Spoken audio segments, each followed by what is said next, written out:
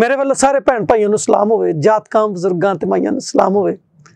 ਨਾਜ਼ਰੀਨ, ਅੱਜ ਦੀ ਗੱਲ ਦੇ ਨਾਲ ਨਾਸਰ ਜਮੀਲ ਹਾਜ਼ਰ ਖਿਦਮਤ ਹੈ ਔਰ ਅੱਜ ਦੀ ਗੱਲ ਆਪਾਂ ਕਰ ਰਹੇ ਹਾਂ ਮੌਜੂਦਾ ਸਿਆਸੀ ਸੂਰਤ-ਹਾਲ ਤੇ ਔਰ ਉਹਦੇ ਜਿਹੜਾ ਅਕਲੀਅਤਾਂ ਦਾ ਆਪਣਾ ਕਿਰਦਾਰ ਔਰ ਆਪਣਾ ਹਿੱਸਾ ਹੈ, ਉਹਦੇ ਤੇ ਕਰਾਂਗੇ। ਮੌਜੂਦਾ ਸਿਆਸੀ ਜਿਹੜੀ ਸੂਰਤ-ਹਾਲ ਹੈ, ਤੁਸੀਂ ਪਿਛਲੇ ਕੋਈ 1 ਮਹੀਨੇ ਤੋਂ ਡੇਢ ਮਹੀਨੇ ਤੋਂ ਵੇਖ ਰਹੇ ਹੋ ਕਿ ਬੜੀ ਗਹਿਮਾ ਗਹਿਮੀ ਹੈ ਬੜੀ ਖੱਚ ਖਰਾਬਾ ਹੋਣ ਦਿਆ ਔਰ ਬਹੁਤ ਸਾਰੀਆਂ ਸ਼ਾਵਾਂ ਜਿਹੜੀਆਂ ਨੇ, ਉਹ ਤਬਦੀਲ ਹੋ ਰਹੀਆਂ ਨੇ। ਸਾਡੇ ਪੁਰਾਣੇ ਪ੍ਰਾਈਮ ਮਿਨਿਸਟਰ ਸਾਹਿਬ, ਜਨਾਬ ਇਮਰਾਨ ਖਾਨ ਸਾਹਿਬ ਨੂੰ ਔਰ ਉਹਨਾਂ ਦੇ ਜੀਆਂ ਨੂੰ ਨਾਲ ਫ਼ਰਕ ਕਰਕੇ ਤੇ ਸੜਕਾਂ ਤੇ ਲੈਣ ਦਾ ਗਿਆ ਔਰ ਜਿਹੜੇ ਸੜਕਾਂ ਤੇ ਸਨ, ਉਹ ਹੁਣ ਪਾਰਲੀਮੈਂਟ 'ਚ ਆ ਗਏ ਨੇ। ਅੱਛਾ ਪਾਰਲੀਮੈਂਟ ਦੇ ਅੰਦਰ ਤੇ ਬਾਹਰ ਦੀ ਸੂਰਤ-ਹਾਲ ਜਿਹੜੀ ਹੈ, ਉਹ ਤੁਸੀਂ ਹਰ ਰੋਜ਼ ਟੀਵੀ ਜਿਹੜਾ ਹੈ, ਉਹਦੇ ਤੇ ਵੇਖਦੇ ਪਏ ਹੋ ਕਿ ਕਿਤੇ ਕਿਸੇ ਦੇ, ਕਿਸੇ ਸਪੀਕਰ ਨੂੰ ਜਿਹੜਾ ਹੈ, ਉਹ ਮਾਰਿਆ, ਕੁੱਟਿਆ ਜਾ ਰਿਹਾ ਹੈ। ਕਿਧਰੇ ਗਾਲੀ ਗਲੋਚ ਜਿਹੜਾ ਹੈ, ਉਹ ਕੀਤਾ ਜਾ ਰਿਹਾ ਹੈ। ਕਿਧਰੇ ਲੜਾਈਆਂ ਔਰ ਗਲਮੇ ਇੱਕ ਦੂਜੇ ਦੇ ਪਾੜੇ ਜਾ ਰਹੇ ਹਨ। ਤੇ ਦੂਸਰੇ ਪਾਸੇ ਜਿਹੜੀ ਮੇਨ ਯਾਨੀ ਫੈਡਰਲ ਦੀ ਜਿਹੜੀ ਗਵਰਨਮੈਂਟ ਹੈ, ਜਿਹੜੀ ਸੈਂਟਰ ਦੀ ਗਵਰਨਮੈਂਟ ਹੈ ਸੈਂਟਰ ਦੀ ਗਵਰਨਮੈਂਟ ਵਾਸਤੇ ਵੀ ਜਿਹੜੀ ਹੈ ਜੋੜ ਤੋੜ ਜਿਹੜੇ ਨੇ ਉਹ ਜਾਰੀ ਨੇ। ਔਰ ਤੁਸੀਂ ਵੇਖ ਰਹੇ ਹੋ ਕਿ ਬਾਨਮਤੀ ਦਾ ਕੁੰਬਾ ਹੈ ਪੂਰਾ, ਇੱਕ ਪੂਰਾ ਇੱਕ ਇੱਕ ਜਥਾ ਹੈ ਜਿਹੜਾ ਇੱਕ ਮਤਲਬ ਕਿਸੇ ਦੇ ਦਾ ਝੱਗਾ, ਕਿਸੇ ਦੀ ਸ਼ਲਵਾਰ, ਕਿਸੇ ਦੀ ਪੱਗ ਤੇ ਕਿਸੇ ਦੀ ਜੁੱਤੀ ਜਿਹੜੀ ਹੈ ਉਹਨੂੰ ਪੂਰਾ ਕਰਕੇ ਤੇ ਲਾੜਾ ਜਿਹੜਾ ਹੈ ਤਿਆਰ ਕੀਤਾ ਜਾ ਰਿਹਾ ਹੈ। ਇਹ ਇਹ ਉਹ ਸੂਰਤ ਹਾਲਾਤ ਹੈ ਜਿਹਦੇ ਵਿੱਚ ਅਸੀਂ ਸਾਰੇ ਜੂਨਦੇ ਪਏ ਹਾਂ ਔਰ ਅਸੀਂ ਸਾਰੇ ਮਾਮਲੇ ਨੂੰ ਵੇਂਦੇ ਪਏ ਹਾਂ। ਸੋ ਇਸ ਕਰ ਇਸ ਇਸ ਗੱਲ ਦੇ ਉੱਤੇ ਅਸੀਂ ਆਪਣਾ ਬਹੁਤਾ ਲੰਬਾ ਜਿਹੜਾ ਹੈ ਵੇਲਾ ਉਹ ਨਹੀਂ ਲਾਵਾਂਗੇ। ਪਰ ਮੈਂ ਜਿਹੜੇ ਦਿਨ ਦਾ ਇੰਤਜ਼ਾਰ ਕਰਦਾ ਪੈਸਾ ਅਸੀਂ ਸਾਰੇ ਜਿਹੜੇ ਦਿਨ ਦਾ ਇੰਤਜ਼ਾਰ ਕਰਦੇ ਪੈਸਾ ਉਹ ਸੀ ਕਿ ਜਦੋਂ ਜਿਹੜੀ ਹੈ ਕਬੀਨਾ, ਜਿਹੜੀ ਵਜ਼ੀਰਾਂ ਦੀ ਜਿਹੜੀ ਇੱਕ ਟੀਮ ਹੈ, ਉਹ ਤਿਆਰ ਕੀਤੀ ਜਾਏਗੀ ਤੇ ਉਹ ਦਿਨ ਕਿਹੜਾ ਹੋਏਗਾ। ਸੋ ਅੱਜ ਸਵੇਰ ਜਿਹੜਾ ਹੈ, ਉਹ ਕਬੀਨਾ ਕਹਿ ਲੋ ਵਜ਼ੀਰਾਂ ਦੀ ਜਿਹੜੀ ਟੀਮ ਕਹਿ ਲੋ ਜਾਂ ਜਿਹੜਾ ਇੱਕ ਹਕੂਮਤ ਸਾਜ਼ੀ ਦਾ ਜਿਹੜਾ ਅਹਿਮ ਹਿੱਸਾ ਹੁੰਦਾ ਹੈ, ਯਾਨੀ ਕਬੀਨਾ ਬਣਾਣੀ ਉਹਦਾ ਇੱਕ ਜਿਹੜਾ ਮਰਹਲਾ ਹੈ, ਉਹ ਤੈ ਪਾ ਗਿਆ ਹੈ। ਔਰ ਪਹਿਲਾਂ ਤੇ ਇਹ ਨਹੀਂ ਸੀ ਸਮਝ ਆ ਰਹੀ ਪਈ ਜਿਹੜਾ ਸ਼ਿਕਾਰ ਮਾਰ ਕੇ ਅੰਦਰ ਸੁੱਟਿਆ ਗਿਆ ਹੈ, ਉਹਦੀ ਲੱਤ ਕੌਣ ਲਏਗਾ, ਧੌਣ ਕੌਣ ਲਏਗਾ, ਪਸਲੀਆਂ ਕਿੰਨੂੰ ਮਿਲਣਗੀਆਂ, ਦਿਲ ਕੌਣ ਖਾਏਗਾ, ਗੁਰਦੇ ਕੌਣ ਖਾਏਗਾ, ਕਲੇਜੀਆਂ ਕਿੰਨੂੰ ਮਿਲਣਗੀਆਂ। ਲੇਕਿਨ ਅੱਜ ਇਹਨਾਂ ਨੇ ਹਿੱਸੇ ਵੰਡੀ ਪਾ ਕੇ ਕਿਸੇ ਤਰੀਕੇ ਜਿਹਾ ਨਾ ਉਹ ਰਲ ਮਿਲ ਕੇ ਬਾਵਜੂਦ ਦੇ ਕੇ ਕੱਲ ਰਾਤ ਤੱਕ ਇੱਕ ਦੂਜੇ ਨੂੰ ਗਾਲਾਂ ਹੀ ਕੱਢਦੇ ਪਏ ਸਨ ਔਰ ਇੱਕ ਕੋਈ ਕਹਿ ਰਿਹਾ ਸੀ ਮੈਂ ਨਹੀਂ ਨਾਲ ਖਲੋਣਾ, ਕੋਈ ਕਹਿੰਦਾ ਸੀ ਮੈਂ ਅੱਗੇ ਨਹੀਂ ਖਲੋਣਾ, ਕੋਈ ਕਹਿੰਦਾ ਸੀ ਮੈਂ ਪਿੱਛੇ ਨਹੀਂ ਖਲੋਣਾ। ਇਹਨਾਂ ਨੇ ਕਿਸੇ ਨਾ ਕਿਸੇ ਤਰੀਕੇ ਜੋੜ ਜਾੜ ਕੇ ਨਾ ਤੇ ਕੰਮ ਸੂਤਰ ਕਰ ਲਿਆ ਹੈ। ਔਰ ਇਹਦੇ ਤੇ ਅਸੀਂ ਸ਼ਬਾਜ਼ ਸ਼ਰੀਫ ਔਰ ਉਹਨਾਂ ਦੇ ਜਿਹੜੇ ਸਾਰੇ ਜਿਹੜੇ ਉਹਨਾਂ ਦੇ ਜੋਟੀਦਾਰ ਨੇ, ਉਹਨਾਂ ਨੂੰ ਵਧਾਈਆਂ ਦਿੰਨੇ ਆ ਕਿਉਂ ਜੋ ਮੁਲਕ ਜਿਹੜਾ ਹੈ ਉਹ ਆਇਨੀ ਔਰ ਇੰਤਜ਼ਾਮੀ ਜਿਹੜਾ ਸਾਡਾ ਇੱਕ ਬਹਰਾਨ ਹੈ, ਜਿਹੜਾ ਇੱਕ ਖੱਚ ਵੱਜੀ ਪਈ ਹੈ, ਉਹਦੇ 'ਚੋਂ ਐਟਲੀਸਟ ਬਾਹਰ ਆ ਜਾਏਗਾ।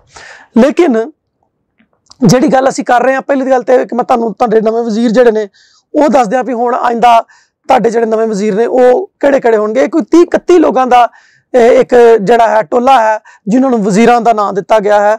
ਇਹਦੇ ਚ ਜਿਹੜੇ ਪਾਕਿਸਤਾਨ ਮੁਸਲਿਮ ਲੀਗ ਨੂਨ ਦੇ ਲੋਕ ਹੋਣਗੇ।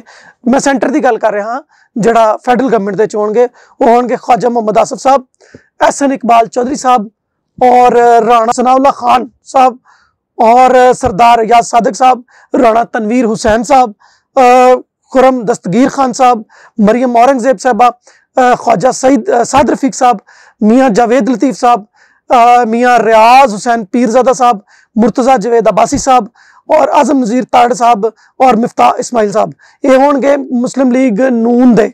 ਹੁਣ ਪਾਕਿਸਤਾਨ ਪੀਪਲਸ ਪਾਰਟੀ ਜਿਹੜੀ ਹੈ, ਉਹਦਾ ਹਿੱਸਾ ਇਹ ਹੈ ਕਿ ਸੈਯਦ ਖੁਰਸ਼ੀਦ ਅਹਿਮਦ ਸਾਹਿਬ, ਇਹੋ ਲੋਕ ਨੇ ਸੈਯਦ ਖੁਰਸ਼ੀਦ ਅਹਿਮਦ ਸਾਹਿਬ, ਤੁਸੀਂ ਉਹਨਾਂ ਨੂੰ ਜਾਣਦੇ ਹੀ ਹੋ ਜਿਹੜੇ ਆਪਣਾ ਨੈਬ ਦੇ ਵਿੱਚ ਫਸੇ ਸਨ, ਉਹ ਕਰਪਸ਼ਨ ਦੇ ਵਿੱਚ ਇਹੋ ਵਾਲੇ ਨੇ। ਸੈਯਦ ਨਵੀਦ ਕਮਰ ਸਾਹਿਬ ਸ਼ਹਿਰੀ ਰਹਿਮਾਨ ਸਾਹਿਬਾ, ਅਬਦੁਲ ਕਾਦਰ ਪਟੇਲ ਸਾਹਿਬ, ਇਹ ਅਬਦੁਲ ਕਾਦਰ ਪਟੇਲ ਸਾਹਿਬ ਉਹ ਨੇ, ਜਿਹੜੇ ਅਕਸਰ ਤੁਸੀਂ ਵੇਖਿਆ ਸੀ ਕਿ ਇਮਰਾਨ ਖਾਨ ਨੂੰ ਔਰ ਉਹਨਾਂ ਦੇ ਵਜ਼ੀਰਾਂ ਨੂੰ ਗਾਲਾਂ ਗੋਲਾ ਕੱਢ ਦਿੰਦੇ ਸਨ। ਸੋ ਸ਼ਾਜ਼ੀ ਅਮਰੀ ਸਾਹਿਬ ਹੋਣਗੇ ਸੈਯਦ ਮੁਰਤਜ਼ਾ ਮਹਮੂਦ ਸਾਹਿਬ ਹੋਣਗੇ ਔਰ ਇਹਦੇ ਬਾਅਦ ਸਾਜਦ ਹੁਸੈਨ ਤੂਰੀ ਸਾਹਿਬ ਹੋਣਗੇ ਸਾਨੂਰ ਰਹਿਮਾਨ ਮਜ਼ਾਰੀ ਸਾਹਿਬ ਹੋਣਗੇ ਔਰ ਆਬਦ ਹੁਸੈਨ ਬਾਇਓ ਇਹ ਪਾਕਿਸਤਾਨ ਪੀਪਲਸ ਪਾਰਟੀ ਦੇ ਲੋਕ ਜਿਹੜੇ ਫੈਡਰਲ ਮਿਨਿਸਟਰ ਹੋਣਗੇ। ਇਹਦੇ ਬਾਅਦ ਜੇਯੂਐਫ ਯਾਨੀ ਜਮੀਅਤ ਉਲਮਾ ਇਸਲਾਮ ਫਜ਼ਲੁਰ ਰਹਿਮਾਨ ਗਰੁੱਪ ਦੇ ਜਿਹੜੇ ਹੋਣਗੇ ਲੋਕ, ਉਹ ਕਿਹੜੇ ਕਿਹੜੇ? ਅਸਦ ਮਹਿਮੂਦ ਸਾਹਿਬ, ਅਬਦੁਲ ਵਾਸੇ ਸਾਹਿਬ, ਮੁਫਤੀ ਅਬਦੁਲ ਸ਼ਕੂਰ ਸਾਹਿਬ ਔਰ ਮੁਹੰਮਦ ਤਲਾ ਮਹਮੂਦ ਸਾਹਿਬ ਹੋਣਗੇ।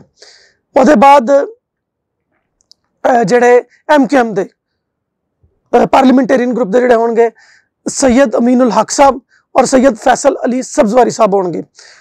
ਬਾਪ ਯਾਨੀ ਬਲੋਚਿਸਤਾਨ ਆਵਾਮੀ ਪਾਰਟੀ ਦੇ ਮੁਹੰਮਦ ਇਸਰਾਰ ਤਰੀਨ ਸਾਹਿਬ ਜਿਹੜੇ ਹੋਣਗੇ ਔਰ ਜੇ ਡਬਲਯੂ ਪੀ ਦੇ ਨਵਾਬਜ਼ਾਦਾ ਸ਼ਾਜ਼ੇਨ ਬੁਕਟੀ ਸਾਹਿਬ ਹੋਣਗੇ ਔਰ ਪੀਐਮਐਲ ਕਿਊ ਦੇ ਤਾਰਕ ਬਸ਼ੀਰ ਚੀਮਾ ਸਾਹਿਬ ਹੋਣਗੇ। ਇਹਦੇ ਬਾਅਦ ਜਿਹੜੇ ਸਟੇਟ ਮਿਨਿਸਟਰ ਯਾਨੀ ਅੱਧੇ ਵਜ਼ੀਰ ਹੋਣਗੇ ਸਟੇਟ ਮਿਨਿਸਟਰ ਹੋਣਗੇ, ਉਹ ਕੌਣ ਕੌਣ ਹੋਣਗੇ? ਪੀਐਮਐਲਐਨ ਤੋਂ ਡਾਕਟਰ ਆਇਸ਼ਾ ਗੌਸ ਪਾਸ਼ਾ ਸਾਹਿਬ ਹੋਣਗੀਆਂ ਔਰ ਅਬਦੁਲ ਰਹਿਮਾਨ ਖਾਨ ਕੰਜੂ ਸਾਹਿਬ ਹੋਣਗੇ। ਇਹਦੇ ਬਾਅਦ ਪਾਕਿਸਤਾਨ ਪੀਪਲਸ ਪਾਰਟੀ ਦੇ ਹਿਨਾ ਰਬਾਨੀ ਖਰ ਸਾਹਿਬਾ ਹੋਣਗੀਆਂ, ਇਹ ਸਟੇਟ ਮਿਨਿਸਟਰਸ ਨੇ। ਔਰ ਹੁਣ ਜਿਹੜੇ ਮਸ਼ੀਰ ਆਨ ਨੇ, ਜਿਹੜੇ ਮਸ਼ੀਰ ਲੱਗਣਗੇ ਵਜ਼ੀਰ ਆਜ਼ਮ ਦੇ, ਉਹ ਨੇ ਪਾਕਿਸਤਾਨ ਮੁਸਲਿਮ ਲੀਗ ਨੂਨ ਦੇ ਅਮੀਰ ਮੁਕਾਮ ਸਾਹਿਬ ਹੋਣਗੇ। ਔਰ ਇਹ ਉਹਦੇ ਬਾਅਦ ਪਾਕਿਸਤਾਨ ਪੀਪਲਸ ਪਾਰਟੀ ਦੇ ਕਮਰ ਜ਼ਮਾਨ ਕਾਇਰਾ ਸਾਹਿਬ ਹੋਣਗੇ। ਔਰ ਜੇਕੇਟੀ ਯਾਨੀ ਜਹਾਂਗੀਰ ਤਰੀਨ ਗਰੁੱਪ ਜਿਹੜਾ ਹੈ, ਉਹਦੇ ਔਨ ਚੌਧਰੀ ਸਾਹਿਬ ਹੋਣਗੇ।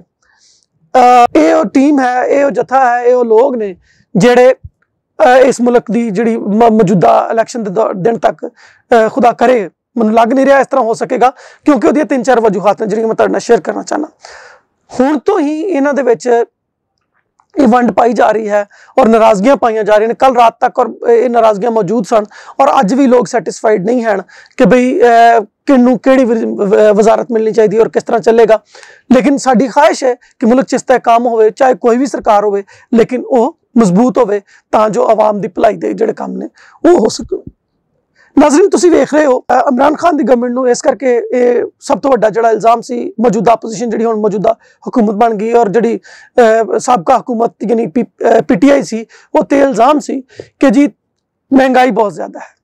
ਅਸੀਂ ਸ਼ਾਇਦ ਖਾਕਾਨਾ ਬਾਸੀ ਸਾਹਿਬ ਦੀ ਗੁਫ਼ਤਗੂ ਬਾਰ ਦੋ ਤਿੰਨ ਦਿਨ ਤੋਂ ਸੁਣ ਰਹੇ ਹਾਂ, ਉਹ 235 ਰੁਪਏ ਦਾ ਕਹਿ ਰਹੇ ਨੇ ਕਿ ਲੀਟਰ ਪੈਟਰੋਲ ਹੋਣਾ ਚਾਹੀਦਾ ਹੈ। ਫਿਰ ਚੀਨੀ 9 ਰੁਪਏ ਮਹਿੰਗੀ ਕਰ ਦਿੱਤੀ ਗਈ ਹੈ। ਘਿਓ ਜਿਹੜਾ ਹੈ ਉਹ 15 ਰੁਪਏ ਮਹਿੰਗਾ ਕਰ ਦਿੱਤਾ ਗਿਆ ਹੈ। ਹੋਰ ਖਾਣ ਪੀਣ ਵਾਲੀਆਂ ਸ਼ਾਵਾਂ ਔਰ ਇਹ ਰਮਜ਼ਾਨ ਦੇ ਮਹੀਨੇ 'ਚ ਕੀਤਾ ਗਿਆ ਤੇ ਸੋਚੋ ਰਮਜ਼ਾਨ ਤੋਂ ਬਾਅਦ ਕੀ ਹੋਣ ਵਾਲਾ ਹੈ। ਇਹ ਉਹ ਚੀਜ਼ਾਂ ਨੇ, ਸੋ ਇਸ ਕਰਕੇ ਲੱਗਦਾ ਹੈ ਕਿ ਜਿਹੜਾ ਆਵਾਮੀ ਰੱਦੇ ਅਮਲ ਹੈ, ਉਹ ਕਾਫੀ ਜ਼ਿਆਦਾ ਸਖਤ ਆਉਣ ਵਾਲਾ ਹੈ। ਇਹਦੇ ਇਲਾਵਾ ਅਸੀਂ ਵੇਖ ਰਹੇ ਹਾਂ ਕਿ ਪੀਟੀਆਈ ਦੇ ਜਿਹੜੇ ਆਪਣੇ ਜਲਸੇ ਨੇ, ਉਹ ਬਹੁਤ ਭਰਵੇਂ ਜਾ ਰਹੇ ਨੇ। ਔਰ ਉਹਦੇ 'ਚ ਜਿਹੜੀ ਮੌਜੂਦਾ ਸਰਕਾਰ ਹੈ, ਔਰ ਮੌਜੂਦਾ ਸਰਕਾਰ ਦੇ ਜਿਹੜੇ ਜਿੱਥੇ ਬੰਦੀਆਂ ਨੇ, ਇਹਨਾਂ ਨੂੰ ਬਹੁਤ ਜ਼ਿਆਦਾ ਜਿਹੜਾ ਹੈ, ਇੰਨੀ ਦੀ ਨਿੰਦਾ ਕੀਤੀ ਜਾ ਰਹੀ ਹੈ। ਜਦੋਂ ਅਸੀਂ ਅੱਗੇ ਵਧਦੇ ਹਾਂ, ਮੇਰਾ ਅੱਜ ਦਾ ਟੌਪਿਕ ਹੋਰ ਹੈ। ਉਹ ਇਹ ਵੇ ਕਿ ਇਹ ਜਿੰਜ ਵੀ ਚੱਲਦੇ ਨੇ, ਚੱਲਦੇ ਰਹਿਣਗੇ। ਔਰ ਮਤਲਬ ਇਹਨਾਂ ਦਾ ਹਾਲ ਹੋਏਗਾ ਕਿ ਸੱਜਾ ਤੋਵੇ ਖੱਬੇ ਨੂੰ ਤੇ ਖੱਬਾ ਤੋਵੇ ਸੱਜੇ ਨੂੰ। ਤੇ ਲੇਕਿਨ ਇਹਦੇ ਵਿੱਚ ਸਾਡਾ ਜਿਹੜਾ ਅਸੀਂ ਜਿਹੜੀ ਅਕਲੀਅਤਾਂ ਵਾਂ, ਉਹਨਾਂ ਨੂੰ ਕੀ ਲੱਭਾ? ਸਾਡੇ ਨੱਚ ਨੱਚ ਘੁੰਗਰੂ ਟੁੱਟ ਗਏ ਨੇ।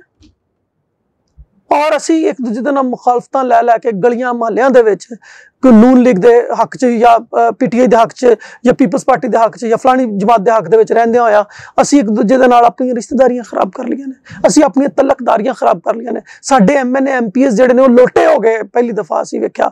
ਲੇਕਿਨ ਇਹਨਾਂ ਲੋਟਿਆਂ ਦੇ ਵਿੱਚ ਤੇ ਕਿਤੇ ਕਿਸੇ ਨੇ ਕੋਈ ਮਤਲਬ ਦੁੱਧ ਤੇ ਬੜੀ ਦੂਰ ਦੀ ਗੱਲ ਦੁੱਧ ਵਾਲੇ ਲੋਟੇ ਦੇ ਤੌਰ ਤੇ ਇਹਨਾਂ ਤੇ ਕਿਸੇ ਨੇ ਪਾਣੀ ਵੀ ਨਹੀਂ ਪਾਇਆ। ਸੋ ਅਗਰ ਅਸੀਂ 3% ਵੀ ਆ ਤਾਂ ਫਰਜ਼ ਕਰੋ ਇਹ ਤੇ ਕੋਈ 31 ਵਜ਼ੀਰ ਨੇ, ਕੋਈ ਬਾਕੀ ਸਾਰੇ ਜਣੇ ਰਲਾ ਕੇ ਕੋਈ 45 ਦੇ ਕਰੀਬ ਇਹ ਲੋਕ ਬਣਦੇ ਪਏ ਨੇ, ਤੇ 45ਾਂ ਦੇ ਵਿੱਚ ਅਗਰ ਸਾਡਾ 3% ਤੇ 4 ਮਤਲਬ ਅਗਰ ਅਸੀਂ 3% ਵੀ ਸਮਝੀਏ, ਤੇ ਅਗਰ ਫਰਜ਼ ਕਰੋ 40 ਵੀ 45 ਛੱਡੋ ਤੁਸੀਂ, ਅਗਰ ਅਸੀਂ 40 ਵੀ ਸਮਝੀਏ ਤਾਂ 4 ਤੀਏ 12 ਯਾਨੀ 1.2 ਮਿਨਿਸਟਰ ਸਾਡਾ ਬੰਦਾ ਯਾਨੀ ਕਿ ਇੱਕ ਵਜ਼ੀਰ ਤੇ ਇੱਕ ਸਟੇਟ ਮਿਨਿਸਟਰ ਤੇ ਸਾਡਾ ਬੰਦਾ ਸੀ, ਜਾਂ ਇੱਕ ਵਜ਼ੀਰ ਤੇ ਇੱਕ ਸਟੇਟ ਮਿਨਿਸਟਰ ਤੇ ਇੱਕ ਮਸ਼ੀਰ ਜਿਹੜਾ ਸੀ ਉਹ ਤੇ ਅਕਲੀਅਤਾਂ ਚ ਵੀ ਲਾਇਆ ਜਾਣਾ ਚਾਹੀਦਾ ਸੀ ਇਹ ਤੇ ਸਾਡਾ ਕੋਟਾ ਬੰਦਾ ਹੈ ਅਗਰ ਅਸੀਂ 3% ਆ ਸਾਡੀ ਰਿਪਰੈਜ਼ੈਂਟੇਸ਼ਨ ਹੀ ਨਹੀਂ ਹੈ ਫਿਰ ਸਾਨੂੰ ਕੀ ਲੱਭਾ ਪੀਟੀਆਈ ਦਾ ਜਾਣਨਾ ਤੇ ਮੁਸਲਿਮ ਲੀਗ ਨੂਨ ਦੇ ਔਰ ਪੀਪਲਸ ਪਾਰਟੀ ਦੇ ਔਰ ਫਲਾਣੇ ਦੇ ਔਰ ਫਲਾਣੇ ਦੇ ਆਣ ਦਾ ਇੱਕ ਪਾਸੇ ਤੇ ਬਿਲਾਵਲ ਪੁੱਟੋ ਸਾਹਿਬ ਨੇ ਬੜੀ ਬਾਹ ਕੱਢ ਕੇ ਕਿਹਾ ਸੀ ਕਿ ਮੈਂ ਚਾਹਤਾ ਹੂੰ ਕਿ ਇੱਕ ਜਿਹੜਾ ਮੈਂ ਇੱਕ ਜੋ ਮਸੀਹ ਕੋ ਵਜ਼ੀਰ ਆਜ਼ਮ ਦੇਖਣਾ ਚਾਹਤਾ ਹੂੰ ਉਹ ਭਾਈ ਜੀ, ਬਲਾਵਲ ਸਾਹਿਬ, ਤੁਸੀਂ ਤੇ ਇੱਕ ਵਜ਼ੀਰ ਨਹੀਂ ਲਾ ਸਕੇ। ਪਾਕਿਸਤਾਨ ਪੀਪਲਸ ਪਾਰਟੀ ਨੂੰ ਅਸੀਂ, ਮਤਲਬ, ਆਮ ਤੌਰ ਤੇ ਕਿਹਾ ਜਾਂਦਾ ਹੈ ਕਿ ਪਾਕਿਸਤਾਨ ਪੀਪਲਸ ਪਾਰਟੀ ਨੂੰ ਕਲੀਤਾਂ ਦਾ ਵੋਟ ਮਿਲਦਾ ਹੈ ਔਰ ਖਾਸ ਤੌਰ ਤੇ ਮਸੀਹੀ ਕਲੀਤਾਂ ਦਾ ਵੋਟ ਮਿਲਦਾ ਹੈ। ਉਹ ਸਾਡੇ ਵੋਟ ਦੀ ਵੀ ਤੁਸੀਂ ਕਦਰ ਨਹੀਂ ਕੀਤੀ। ਤੁਸੀਂ ਸਾਨੂੰ ਵਜ਼ੀਰ ਆਜ਼ਮ ਸਿਰ ਖੋਤੀ ਦਾ ਬਣਾਉਣਾ ਉਹਦੇ ਬਾਅਦ ਅਗਰ ਕੋਈ ਸਟੇਟ ਮਿਨਿਸਟਰ ਹੀ ਸਾਡੇ ਦੋ ਲਾ ਦਿੰਦੇ, ਕੋਈ ਦੋ ਕੁ ਮਸ਼ੀਰ ਹੀ ਲਾ ਦਿੰਦੇ ਔਰ ਮੈਂ ਨਹੀਂ ਕਹਿੰਦਾ ਸਾਰੇ ਮਸੀਹ ਲਾਂਦੇ ਕੋਈ ਇੱਕ ਮਸੀਹ ਚੁਣ ਲੈਂਦੇ ਕੋਈ ਇੱਕ ਸਿੱਖ ਚੁਣ ਲੈਂਦੇ ਕੋਈ ਇੱਕ ਹਿੰਦੂ ਚੁਣ ਲੈਂਦੇ ਕੋਈ ਕਿਸੇ ਬਾਕੀ ਮਤਲਬ ਮਜ਼ਹਬ ਦਾ ਚੁਣ ਲੈਂਦੇ ਚਲੋ ਇਹਨਾਂ ਦੀ ਵੀ ਹੌਸਲਾ ਅਫਜ਼ਾਈ ਹੋ ਜਾਂਦੀ ਸਾਡਾ ਕਲੀਤਾਂ ਦਾ ਹਾਲ ਉਸ ਨਾ ਕਹਾਣੀ ਵਰਗਾ ਹੋ ਗਿਆ ਇੱਕ ਜਗ੍ਹਾ ਤੋਂ ਇੱਕ ਬਾਦਸ਼ਾਹ ਲੰਘਦਾ ਪਿਆ ਸੀ ਤੇ ਉਹਦੇ ਉਹ ਤੇ ਉਹਦੇ ਸਵਾਰ ਜਿਹੜੇ ਸਨ ਉਹਦੇ ਨਾਲ ਜਿਹੜੇ ਉਹਦੇ ਸਾਥੀ ਸਨ ਜਿਹੜੇ ਦੇ ਕਾਫਲੇ ਦੇ ਲੋਕ ਸਨ ਉਹ ਘੋੜਿਆਂ ਤੇ ਬੈਠੇ ਸਨ ਤੇ ਜਿੱਥੋਂ ਦੀ ਬਾਦਸ਼ਾਹ ਲੰਘਦਾ ਸੀ, ਉੱਥੇ ਬਾਦਸ਼ਾਹ ਦੀ ਜੈ ਜੈਕਾਰ ਹੁੰਦੀ ਸੀ। ਉੱਥੇ ਮਗਰ ਮਗਰ ਇੱਕ ਜਿਹੜਾ ਉਥੋਂ ਦਾ ਕੋਈ ਵਿਚਾਰਾ ਗਰੀਬ ਆਦਮੀ ਸੀ, ਕੋਈ ਮਾੜਾ ਸੀ, ਕੋਈ ਜੋ ਵੀ ਸੀ, ਉਹ ਇੱਕ ਮਾੜਾ ਆਦਮੀ ਜਿਹੜਾ ਉਹਨੇ ਆਪਣੀ ਖੋਤੀ ਦੇ ਉੱਤੇ ਜਨਾਬ ਪਾਇਆ ਪਲਾਣਾ ਖੋਤੀ ਵਿਚਾਰੀ ਲੰਗੜੀ ਸੀ। ਉਹਦੇ ਉੱਤੇ ਬਹਿ ਗਿਆ ਤੇ ਮਗਰ ਮਗਰ ਉਹ ਵੀ ਨਾਰੇ ਲਾ ਰਿਹਾ, ਮਮੀ ਕੋੜੇ ਸਵਾਰ, ਮਮੀ ਕੋੜੇ ਸਵਾਰ, ਮਮੀ ਕੋੜੇ ਸਵਾਰ। ਤੇ ਲੋਕੀ ਉਹਦੀ ਇਸ ਨਾਰੇ ਤੇ ਹੱਸਦੇ ਪਏ ਸਨ। ਗੱਲ ਇਹ ਹੈ ਕਿ ਸਾਡੇ ਜਿਹੜੇ ਅਕਲੀਅਤਾਂ ਦੇ ਲੋਕ ਨੇ, ਉਹਨਾਂ ਦੇ, ਉਹਨਾਂ ਨੇ ਵਫਾਦਾਰੀਆਂ ਵੀ ਤਬਦੀਲ ਕੀਤੀਆਂ। ਔਰ ਉਹਨਾਂ ਦੀਆਂ ਵਫਾਦਾਰੀਆਂ ਤਬਦੀਲ ਕਰਵਾ ਕੇ ਜ਼ਾਹਿਰ ਹੈ ਉਹ ਕਮਿਊਨਿਟੀ ਦੇ ਵਿੱਚ, ਉਹਨਾਂ ਦੀ ਕਮਿਊਨਿਟੀਆਂ ਦੇ ਵਿੱਚ ਉਹਨਾਂ ਨੂੰ ਆਪਣੀ ਮਤਲਬ ਤੋਇਲਾਂਤਾਂ ਵੀ ਹੋਈਆਂ। ਲੇਕਿਨ ਉਹਨਾਂ ਨੇ ਸਾਰਾ ਕੁਝ ਬਰਦਾਸ਼ਤ ਕੀਤਾ, ਲੇਕਿਨ ਉਹਨਾਂ ਨੂੰ ਲੱਭਾ ਕੀ? ਸਵਾਏ ਅਗਰ ਅਗਰ ਮੈਨੂੰ ਨਹੀਂ ਪਤਾ, ਅਗਰ ਮੈਨੂੰ ਮਾਫ ਕਰ ਕਰਨਾ, ਅਗਰ ਇਹ ਗੱਲ ਮੈਂ ਗਲਤ ਕਹਿ ਰਿਹਾ ਵਾਂ ਜਾਂ ਕਿਸੇ ਕਿਉਂਕਿ ਇਹਦੇ ਅਸੀਂ ਕੋਈ ਵੀ ਸਬੂਤ ਨਹੀਂ ਦੇ ਸਕਾਂਗੇ, ਕਿਉਂਕਿ ਕੋਈ ਵੀ ਨਹੀਂ ਦੇ ਸਕਦਾ ਇਸ ਗੱਲ ਦੇ ਸਬੂਤ। ਕਿ ਜਿਹੜੇ ਕੁ ਚਾਰ ਪੈਸੇ, ਕੁ ਚਾਰ ਦਮੜੀਆਂ ਲੱਭੀਆਂ ਨੇ ਉਹਨਾਂ ਦੇ ਇਲਾਵਾ ਇਹਨਾਂ ਨੂੰ ਕੀ ਲੱਭਾ? ਕੀ ਫਾਇਦਾ ਹੋਇਆ? ਅੱਜ ਸਵਾਲ ਇਹ ਵੇ ਕਿ ਨੱਥਾ ਆਵੇ ਜਾਂ ਫੱਤਾ ਆਵੇ ਜ਼ੈਦ ਆਵੇ, ਬੱਕਰ ਆਵੇ, ਸਾਨੂੰ ਕੀ ਫਾਇਦਾ? ਸਾਨੂੰ ਕੀ ਲੱਭਾ? ਔਰ ਇਹ ਸਾਰੀ ਤਬਦੀਲੀ ਦਾ ਫਾਇਦਾ। ਆਮ ਆਵਾਮ ਨੂੰ ਕੀ ਹੋਇਆ? ਔਰ ਖਾਸ ਤੌਰ ਤੇ ਆਮ ਆਵਾਮ ਦੇ ਉਸ 3% ਨੂੰ ਜਿਹਨੂੰ ਤੁਸੀਂ ਇਗਨੋਰ ਕਰਦੇ ਹੋ, ਹਰ ਤਰ੍ਹਾਂ ਹੀ ਉਹਦਾ ਕੀ ਬਣਿਆ? ਇੱਕ ਸਵਾਲ ਹੈ, ਇਹ ਛੱਡ ਰਹੇ ਆ ਆਖਰ ਦੇ ਉੱਤੇ ਮੈਂ ਇੱਕ ਗੱਲ ਜ਼ਰੂਰ ਕਰਨਾ ਚਾਹਾਂਗਾ। ਔਰ ਅਕਲੀਤਾਂ ਦੇ तमाम ਨੁਮਾਇੰਦੇ ਅੱਗੇ ਕਰਨਾ ਚਾਹਾਂਗਾ ਅਕਲੀਤਾਂ ਦੀ तमाम ਜਮਾਤਾਂ ਅੱਗੇ ਸਿਆਸੀ ਜਮਾਤਾਂ ਅੱਗੇ ਸਮਾਜੀ ਜਮਾਤਾਂ ਅੱਗੇ ਜ਼ਰੂਰ ਕਰਨਾ ਚਾਹਾਂਗਾ ਜਦੋਂ ਤੱਕ ਤੁਸੀਂ ਆਪਣੀ ਪਹਿਚਾਣ ਆਪ ਨਹੀਂ ਬਣਾਉਂਦੇ ਜਦ ਤੱਕ ਤੁਸੀਂ ਆਪਣਾ ਭਾਰ ਔਰ ਆਪਣੀ ਵੇਟੇਜ ਆਪ ਨਹੀਂ ਬਣਾਉਂਦੇ ਉਨੀ ਦੇਰ ਤੱਕ ਤੁਹਾਨੂੰ ਕੋਈ ਵੇਟੇਜ ਨਹੀਂ ਦੇਗਾ ਮਿਹਰਬਾਨੀ ਕਰੋ ਮਿਹਰਬਾਨੀ ਕਰੋ ਹਾਲੇ ਕਾਫੀ ਵਕਤ ਹੈ ਮੈਂ ਨਹੀਂ ਕਹਿੰਦਾ ਵੀ ਕਿਸੇ ਇੱਕ ਹੀ ਜਮਾਤ ਦਾ ਹਿੱਸਾ ਬਣ ਜਾਓ ਪਰ ਕਿਸੇ ਇੱਕ ਮੁੱਦੇ ਨੂੰ ਲੈ ਕੇ ਅੱਗੇ ਜਾਓ ਔਰ ਉਹਦੇ ਇਲਾਵਾ ਸਿਲੈਕਟੋਕ੍ਰੇਸੀ ਜਿਹੜੀ ਹੈ ਸਿਲੈਕਟਡ ਸਿਸਟਮ ਜਿਹੜਾ ਹੈ, ਇਹਦੇ ਤੋਂ ਬਾਹਰ ਆਓ, ਤਾਂ ਕਿ ਤੁਹਾਡੀ ਵੇਟੇਜ ਹੋਵੇ, ਤਾਂ ਕਿ ਤੁਹਾਡਾ ਭਾਰ ਹੋਵੇ, ਤਾਂ ਕਿ ਤੁਸੀਂ ਜਦੋਂ ਤੁਹਾਡੇ ਨਾਲ ਜ਼ਿਆਦਤੀ ਹੋਵੇ, ਤੇ ਤੁਹਾਡੇ ਮਗਰ ਚਾਰ ਜੀ ਖਲੋਤੇ ਹੋਣ। ਸਿਲੈਕਟਡ ਜਿਹੜਾ ਜੇ, ਉਹਦੀ ਕੋਈ ਵੈਲਿਊ ਨਹੀਂ ਜਾਂਦੀ। ਹਮੇਸ਼ਾ ਇਲੈਕਟਡ ਦੀ ਵੈਲਿਊ ਹੁੰਦੀ ਹੈ।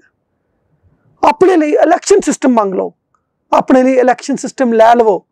ਆਪਣੇ ਲਈ ਇਲੈਕਸ਼ਨ ਸਿਸਟਮ ਖੋ ਲਵੋ।